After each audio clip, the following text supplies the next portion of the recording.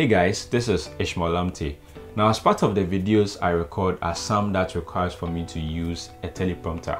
Most of the time I end up recording my videos alone and in case I'm recording alone, sometimes it's a bit difficult for me to go about still monitoring my teleprompter, uh, managing it as well as being able to go about my recording.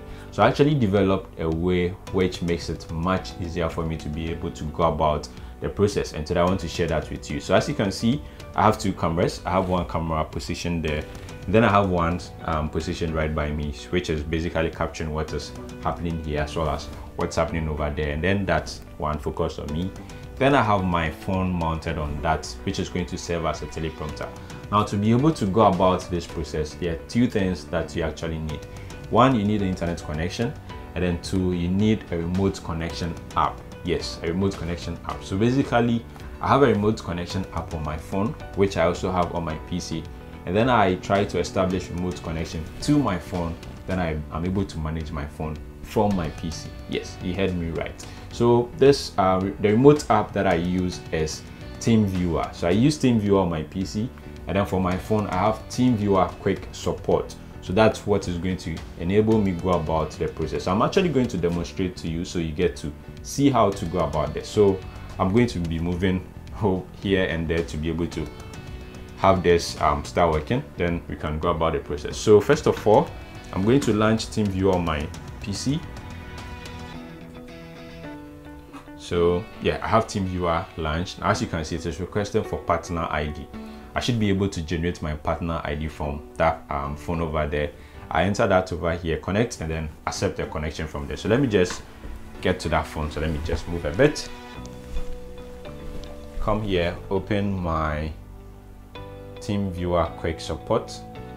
So it's opened. Um, let me just uh, it says this okay let me just end this and then so as you can see there's a code which has been generated on my phone over there i need to be able to enter that code here at my partner id section so this is 1500 um, 256 111 so let me just click on connect so once I try to establish a connection to my phone over there, I need to head back there and accept the connection. So I'm going to go back to my phone and then accept the connection. So let me just hit on allow on my phone. And then once I do that, automatically the connection has been established. So as you can see, my phone is now on my laptop and I can actually control my phone right from my laptop. So what I'm going to do next is to expand this to be able to have a bigger view of my lap, uh, my screen, that's my phone. And then locate my teleprompter. So I, once I open that, I open my teleprompter app, which is the Parrot teleprompter. Then I'm going to go ahead to go through the scripts that I have. So I have a couple of scripts.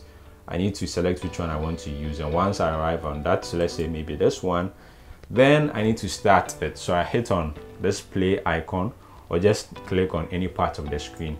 Then within some few seconds, you should see the teleprompter starting to roll on my phone as well as on my PC. But in this time around, I need to focus on my phone because I need to look at that camera. So let me just try to read what's over there. It says, gone were the days where it was difficult to make and receive payments online.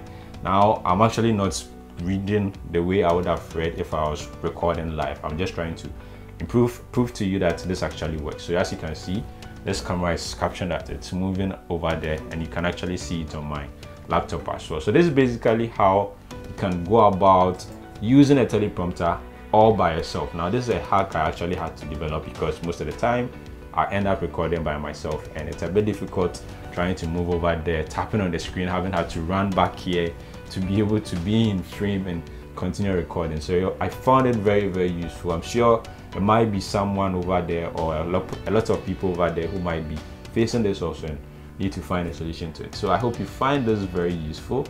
This brings an end to this particular video. In case you are new, kindly, kindly hit on that subscribe button and then don't forget to hit on the bell as well so that anytime there's a new video, you get to see it. Once again, my name is Ishmael Lamptey. Thank you very much for watching. I'll see you in the next one.